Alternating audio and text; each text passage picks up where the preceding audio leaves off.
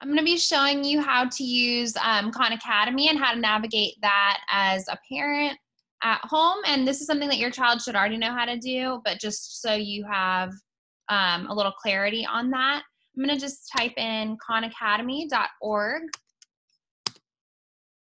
Well, let me sign out so that I can sign back in.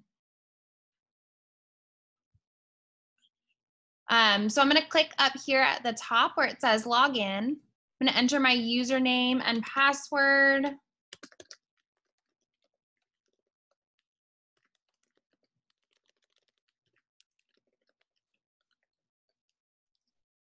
Click login.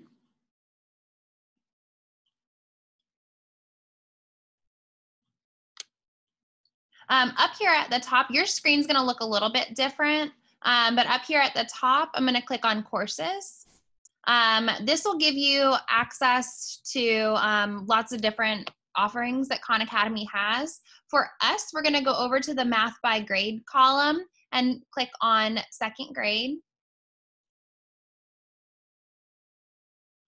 Um, oftentimes in class, we're going to click on where it says missions. And if I click on missions, that just gives your child some specific areas that they're going to be working on. The goal would be to have 100% progress through the second grade module. Um, we also had been practicing making sure that we've mastered kindergarten and first grade before we got to the second grade courses. Um, but for the purposes of what I'd like your child to be working on, um, I'd like for you to click on courses and then click over on second grade. And then I'm gonna have you scroll down.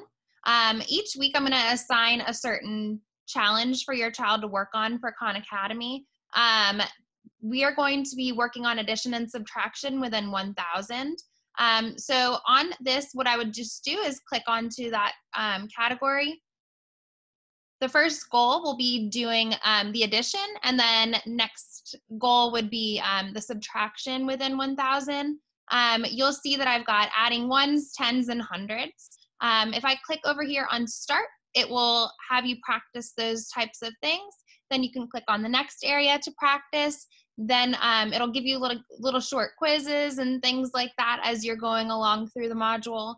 Um, I get a report as a teacher who is earning points on Khan Academy. It also gives me a report on um, just different areas that I might want to focus on. Um, this is a really good practice. Once your child um, has this extra practice, it's going to make it easier for them to complete their assignments for our class for math.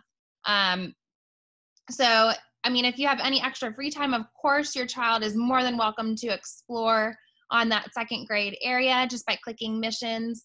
Um, if you see that, hey, your child is struggling in a certain, um, I don't know, just a certain point, um, you can click on different um, standards that they can practice. So we've got place value, you've got measurement, um, lots of different areas. We really like this website. It's pretty cool.